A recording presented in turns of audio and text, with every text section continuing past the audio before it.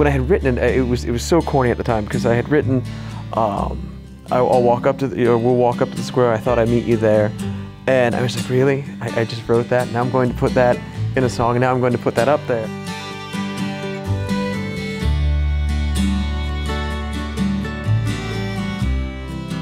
But then I started thinking about a moment, and it was there was a project around the city where they had just left the pianos, and and you, they just put them in different spots all over the city, and one was left up on Hyde Park Square, and we had lived a block away from the square at the time, and so it really just became about writing about that moment in time.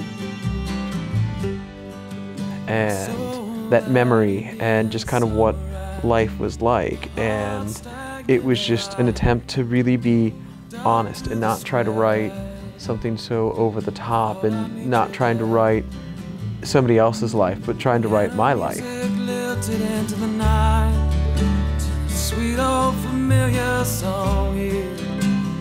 If, if you listen close enough, I, I borrow little bits of songs that really meant something to me and meant something to us as a couple, uh, my wife and I.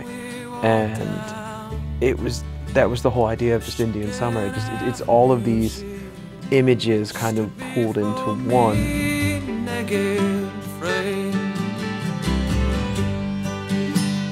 And when the idea, when the chance came to do it in the studio, we wanted to continue the ability to keep that, that simplicity and, and bringing in Hickory Robot and again doing everything very organically and just kind of letting the moment dictate the song.